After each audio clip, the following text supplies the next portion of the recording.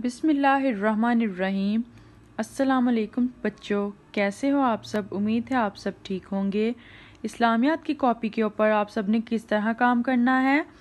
सबसे पहले आपने ऊपर डेट लिखनी है, फिर उसके बाद घर का काम लिखना है, फिर उसके बाद दिन लिखना है। ठीक है? उनवान क्या है? तावुज़ तावुज़ किसको कहते हैं? आउज़बिल्लिमिनशैतानरजीम को। ठीक है? इमला करनी है आज हमने। सबसे पहला लफ्ज़ क्या है? तावुज़। ठीक है, जब हम इसको तोड़कर लिखेंगे तो किस तरह लिखेंगे? ते का सिरा, त, आइन का सिरा, अ, वाओ, जाल। और जब हम इनको इकट्ठा करके लिखेंगे तो तावुज़ बन जाएगा।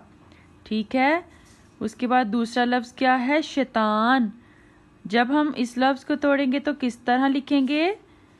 शीन का सिरा, श ये का सिरा य, तोए, अलीफ, नून। और जब हम इसको इकट्ठा करके लिखेंगे तो क्या बन जाएगा? शैतान। ठीक है? ये क्या है? तावुज़ ये क्या है? शैतान। आप सबने भी अपनी कॉपीज़ के ऊपर सेम इसी तरह लिखना है और लर्न भी करना है। ठीक है? ओके, अल्लाह हाफिज़।